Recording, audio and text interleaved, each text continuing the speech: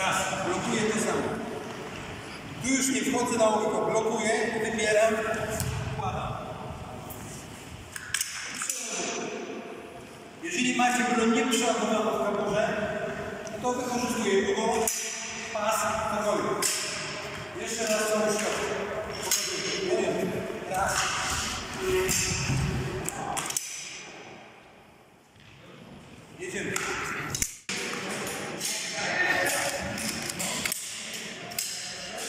Tutaj dystans jest nieco większy, bo gdyby było to tutaj, to, to będę pracował barkiem, a ja robotę robię biodrem.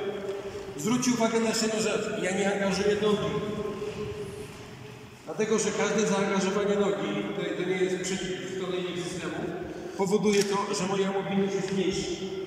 Bo noga jak się skupi na kopnięciu, to niestety ja tej mobilności nie mam. I teraz popatrzcie o co chodzi. Będę go dystansował. Ta część wchodzi na mostek. W drugim schemacie ta część wchodzi tu i w trzecim schemacie ta część wchodzi tu. Ćwiczymy na tym pierwszym schemacie, najbardziej bezpiecznie. Zapracuję w mostek, odbijam się od niego i jadę. Zobaczcie. Raz, dwa, trzy, cztery. Jeszcze raz. Zwróćcie uwagę na jedną rzecz. Przeładowanie jest bliskie. Robotę robią nogi, ja się nie rozwijam.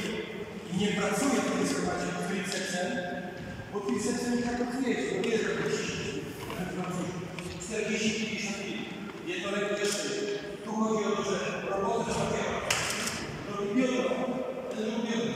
Tak jak się wykonuje w tym to jest ruch lubicie, zobaczcie, patrzcie, co to jest samochód.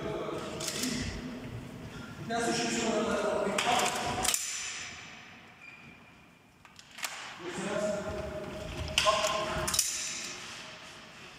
Yes.